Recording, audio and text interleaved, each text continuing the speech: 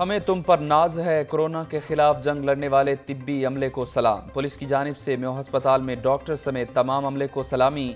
Doctors और दीगर medical staff को गुलदस्ते पेश।